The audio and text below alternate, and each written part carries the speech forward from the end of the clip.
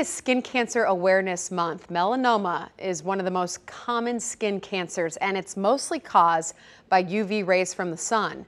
KETV News Watch 7's Waverly Monroe live with ways that you can stay protected. Waverly.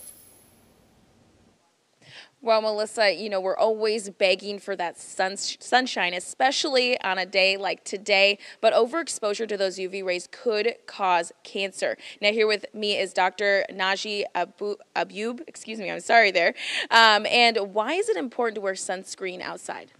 It's very important to protect yourself from the UV light. And uh, sunscreen can uh, protect you from the UV light by absorbing the light, transforming that energy into heat and also reflecting that UV light that can transform normal cells from uh, uh, normal to cancer cells. So the FDA issued recently issued an alert on sunscreen saying that some of those chemicals actually absorb into the skin.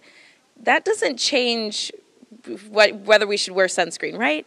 Correct. Um, the FDA uh, uh, purpose of the study was to figure out whether these chemicals in the sunscreen are absorbed into the bloodstream.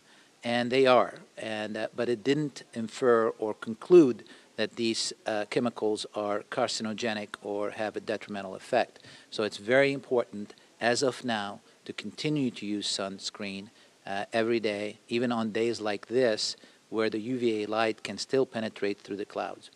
I think if you have any concerns about these chemical sunscreens, you can use the more mineral-based sunscreen like, like the zinc oxide-based ones or the titanium dioxide ones, and they are protective and they are absorbed and not detrimental.